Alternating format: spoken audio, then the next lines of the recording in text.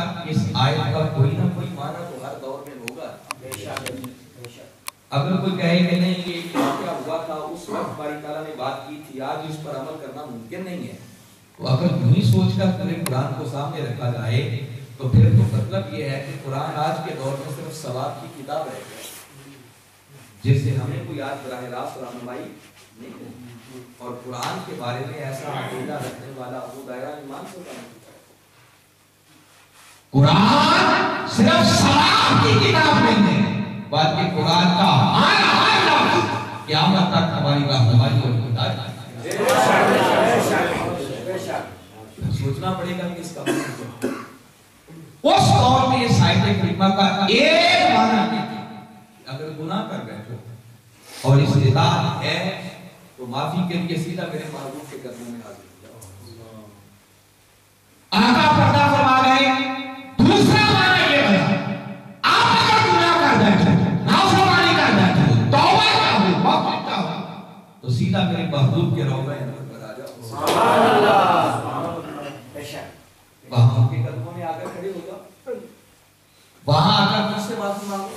तो मौला अगला काम शिफात वाला कौन करेगा फरमाया अगर तो मेरे मुस्तफ़ा को फरमा गए थे? सुना नहीं था। मेरे आका ने फरमाया, फरमान, ज़ारा का भी मुस्तफ़ा। फरमाया मेरे के बाद मेरा जो उम्मती मेरी कमर पर मेरे रोज़ा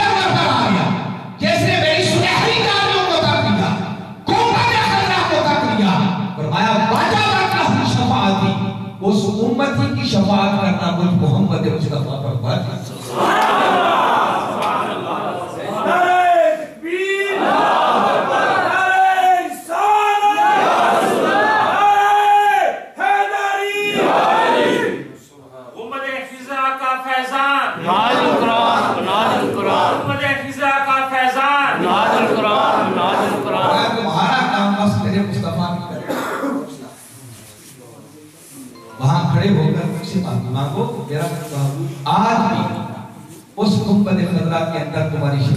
लिए न भेजा है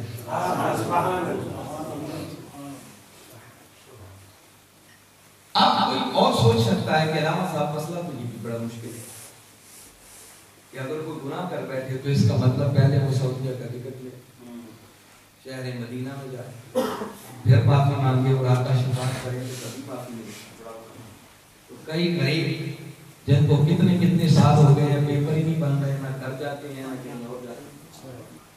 उन बेचारों का क्या बनेगा जो टिकट ना दे सके, वहाँ पहुँच ना सके तो वो तो फिर बेचारा लुट गया।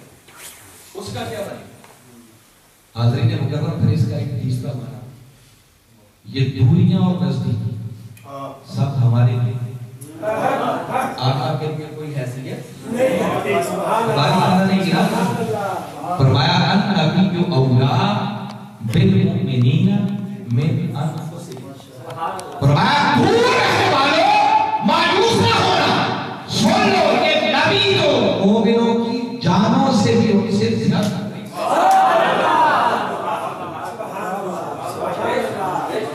फरमाया तुम सच्चे मोमिन बन जाओ। क्या बन जाओ? सच्चे मोमिन। खुदा हर किसी की शान हक से ज़्यादा करीब उसने जब अपनी बात की तो उसने ईमान वालों की बात नहीं की। उसने कहा ना अकरब इलैहि मिन अब्दिल गरीब मैं हर शख्स की शान हर से ज़्यादा करीब मगर जब आपने महबूब की बात की तो हर किसी का ज़िक्र नहीं। फरमाया अन नबी औला बिल मुमिनीन। फरमाया कि नबी सिर्फ़ मोमिनों की जानों से भी उनसे ज़्यादा फरमाया मोमिन बनना तुम्हारा भाई आप ईमान क्या है?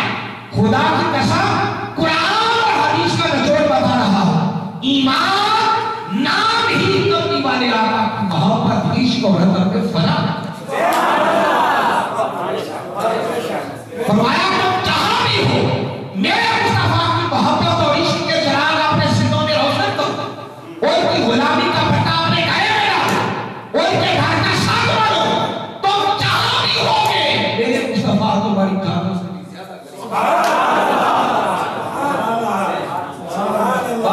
नहीं बैठा मेरे मुस्तफ़ा के कर्मों का तस्वर कर उनके वसीले से मेरी बारगाह में अर्ज़ करना नहीं, बैठे बैठे तुम्हारी तौबा कर। मगर होगी उसी की जो पहले दर मुस्तफ़ा का संग हर खिलाफ तस्वर में बता रहा हूँ, एक ही इस पर आपको एक ईमान अफरोज बात सुनाता हूँ। ये हजूर शेख इस्लाम ने खुद सुनाई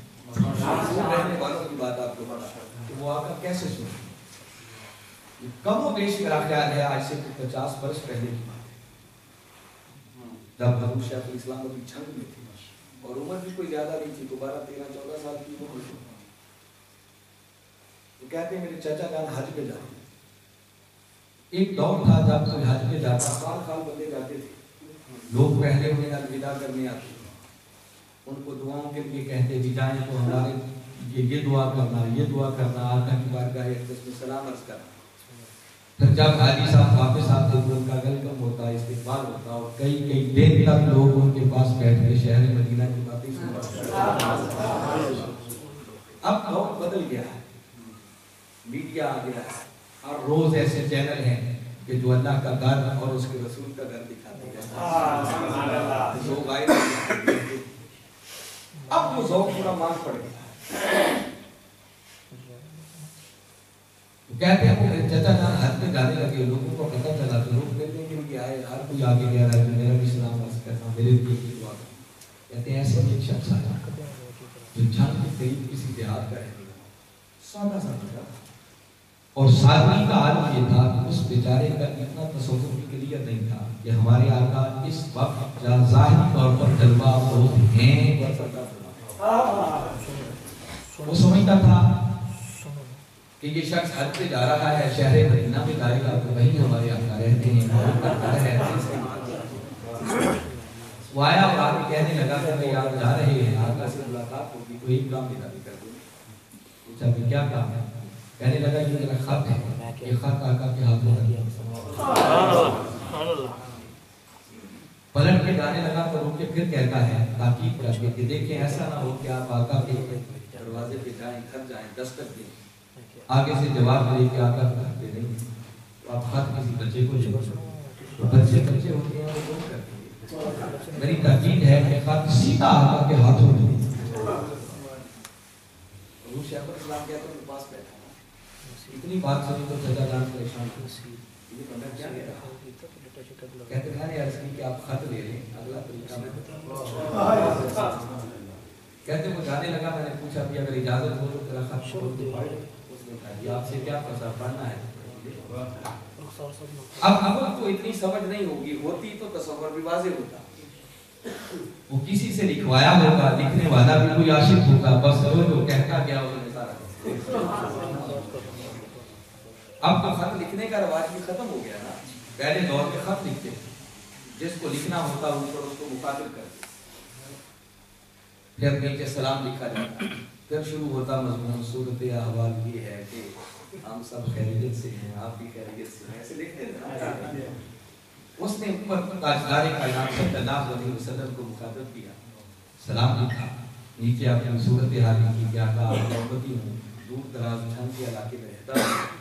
इतने पैसे नहीं है कि आपकी खिदमत के हाजिर हो सकते अल्लाह ने मुझे एक बेटा दिया है वो बड़ा नाफरमान है पढ़ने भी नहीं जाता। आप हमारे नबी हैं उसके लिए दुआ करते हैं अल्लाह मेरे बेटे की तकलीफ़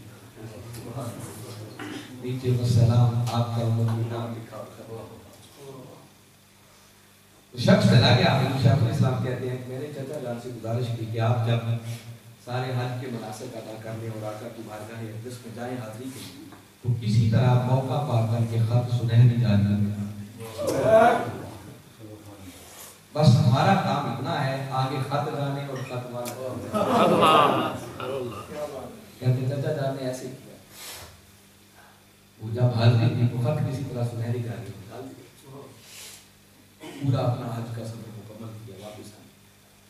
लोगों को खबर हुई कि हाजी साहब वापस आए। लोग मुबारक देने के लिए आ रहे हैं। उस हक वाले को पता चला कि का हुआ और आप ही कहने लगा आपका बहुत बहुत शुक्रिया आपने मेरा काम कर दिया। उधर में पहुँचा इधर मेरे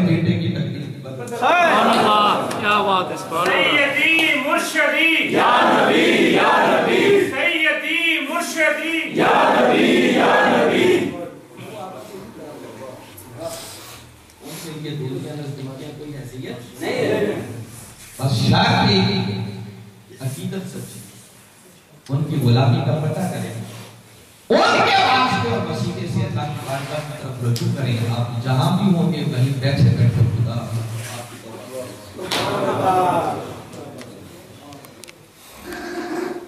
ये के हवाले से इससे अगला मरहला कब्र का मरहला। है थोड़ी थोड़ी बात किनारे लग जाओ। कब्र में भी अगर निजात होगी तो कब्र में भी निजात उसी की होगी जो दरे मुस्तफ़ा पर सके मालूम बात है, हजूर शाह इस्लाम को मुझे मालूम नहीं, आपने कितना सुना है? आपने बड़ी प्यारे अंदाज से ये बात भी सुनाई। मैं और मुख्तसर करता हूँ, ताकि वक्त थोड़ा है। आपने ये तो सुना है कि जब इंसान कब्र में जाएगा तो कब्र में जाने के बाद उससे कुछ सवाल पूछेंगे। मालूम है कितने सवाल होंगे तीन सवालों की बात की है और बुखारी शरीफ को पढ़ेगा तो पूरी बुखारी शरीफ के अंदर तीन सवालों वाली कोई नहीं बल्कि इमाम बुखारी ने जितनी अहादीस इस मजमून के बारे में इकट्ठी की है उनमें एक ही बात है कि कब्र के अंदर सवाल एक ही होगा और वो सवाल पहचाने मुस्तफ़ा वाला मगर मैं तीन सवालों वाली हदीस मुबारक को ताकि हम वहाँ से नोट कर हैं इससे तो पैसे ही साबित हो गया ना जब सवाल ही एक होगा तो इसका मतलब निजात उसी की होगी जो दरे मुस्तफ़ा का सके मगर तीन सवालों वाली बात है। कब्र में जब जाएँगे तो वो सवाल साहब ईमान शख्स से भी होगा और काफिर से भी होगा। सही अकीदा से भी होगा और बद अकीदा से भी होगा। पूछा जाएगा मन रब बता तेरा रब दीन और फिर तीसरा सवाल होगा हमारे आका बददुआ देने के साथ बुखरे के साथ सामने जलवा और फरिश्ते इशारा करके नाम लेकर माफुक का मबूद की हर के हाजर राजवारी मोहम्मद बंदे बता, ये हस्ती सल्लल्लाहु जो तेरे सामने है, बोल, इनके बारे में क्या कहा करता था? अब अगर आप तवज्जो से सुनिए। एक शख्स था उससे पहला सवाल पूछा मन रब को बता के रहा उसने जवाब दिया हाँ हाँ ला नहीं अफसोस, मैं नहीं जानता मेरा क्या जब उसने अल्लाह ही को मानने से इनकार कर तो मुझे बताएँ, उससे कुछ अगला पूछने की गुंजाइश बचती है?